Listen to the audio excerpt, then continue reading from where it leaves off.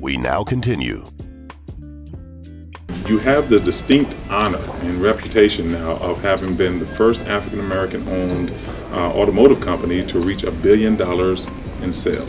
Billion dollars, that is, that is what the B. Now, I have to qualify right away when I say a billion dollars. That a billion dollars in sales is not a billion dollars in profit. So I do not have a billion dollars in my pocket.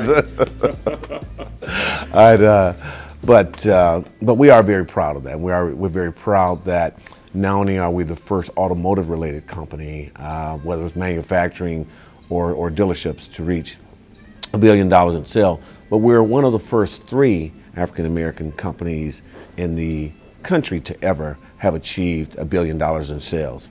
Uh, the first one was um, um, uh, TLC Beatrice, and we all remember the, uh, the famous Reggie Lewis, Reggie Lewis, who was both a, uh, a, mentor of mine as well as a fraternity brother, and uh, God bless him. Um, and then there's a, um, another organization, I believe it's in Kansas City, I can't think of the name of it. It's an IT company, and then it was, of course, us was number three.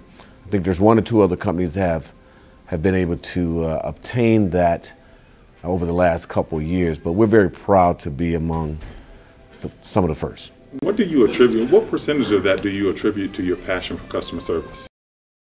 Uh, I think that customer service um, is the hallmark of any business, uh, particularly when you have a product that a customer can buy from anywhere.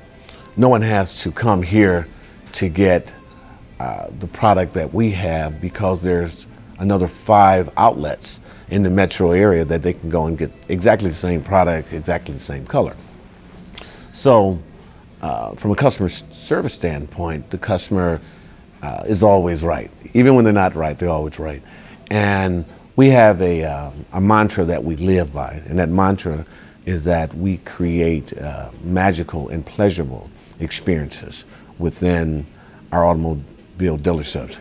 And the intent is to go above and beyond what a customer will experience if they go somewhere else.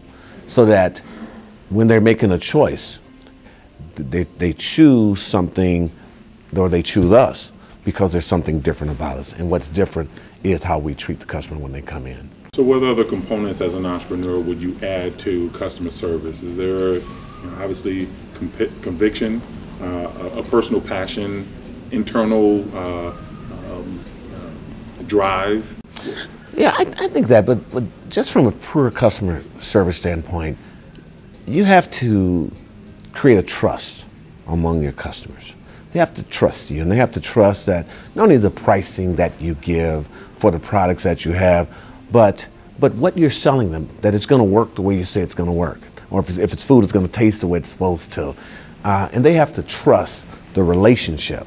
So, so it's not unusual, whether it's myself or any of my employee team members, to see us not trying to sell a car, but help a customer buy a car. And if we help you buy a car, then we approach it differently.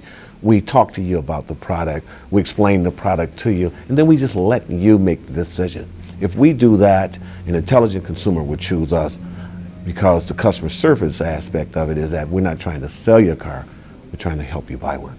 And there's a difference there. Yeah, difference yeah there certainly is. So what would you add, uh, provide as advice to anyone looking to be an entrepreneur? Um, certainly including that component of customer service and, and trust, but what other things advice-wise would you give to anyone interested? I, I would make two observations. Uh, the first observation would be everyone who wants to be an entrepreneur is not. So I think that we all have to not find our, our niche, you know, where, where do we fit? And and so there's, there's a skill set, and a lot of that skill set just deals with the passion to do your own thing. The passion because it's, it's fun to you, and, and, and, and I think you have to start with that. If you don't have that, then, um, then your chances of being successful are going to be uh, tenuous.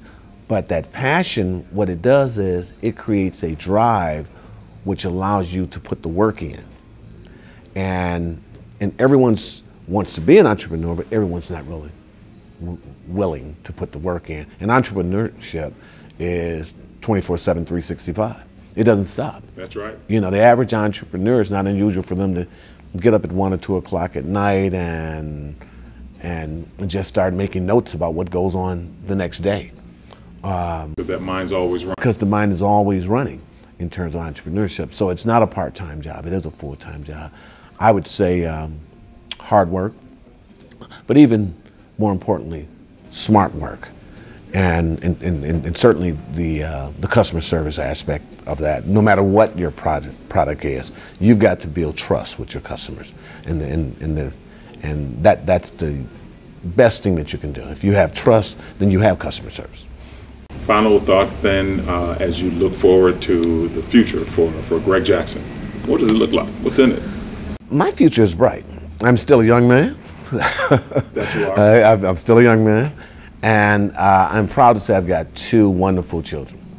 Uh, my daughter Annika, who is a, uh recent graduate of Purdue with an MBA, uh, and then my son, who's a recent graduate of Morehouse. I'm looking for both of them to come back into the business, and I see them joining me, becoming partners in, in the uh, in the business. And uh, my son is not as excited as my daughter is about the business, but um, but he'll he'll come around. And but I see them coming back and and and joining me and uh, and really running the company. You know, it's time for them, and I see myself directing uh, what we do. There's so much more we can do, but I can't do it by myself. You know, it's all about the team, and you need help. So. This is also my cry to them when they watch this program to come on home.